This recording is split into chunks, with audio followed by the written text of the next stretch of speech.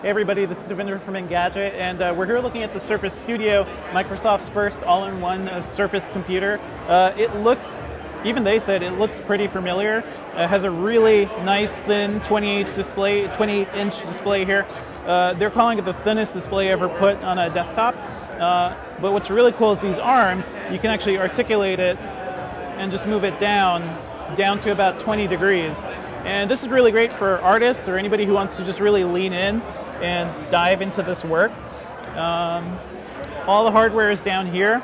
Uh, it has a, right now, a sixth generation quad core Intel i5, i7 processor. Also has NVIDIA GTX uh, 965M or 980M graphics and uh, 32 gigabytes of RAM. So a lot of hardware in this. Surprising they didn't get to the Intel 7th gen processors, but maybe we'll see that eventually. And also looks like we have a new wireless keyboard and mouse combination from Microsoft too uh, has the Surface Pen as usual, and uh, a new device, a new accessory called the Surface Dial. And this is something that kind of sticks to the screen. It's really useful when your screen is down. Kind of sticks to it and lets you open up other options uh, depending on the app you're using. This is something that's going to work on all the Surface devices too, so not just the Surface Studio. Kind of an interesting accessory. We haven't seen something like this before, um, but I haven't had much time to play around with this yet. But yeah, the Surface Book, from what I can tell, I haven't seen a desktop uh, that's really looked uh, this intriguing in a long time.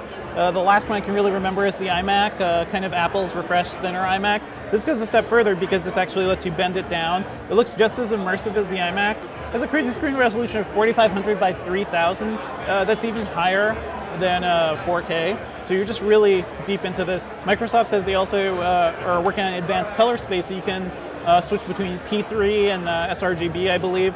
Um, really useful, could be something really useful for creators. It starts at $3,000, so it's not meant for everybody, but it looks pretty cool for the people who could really, you know, build something on this.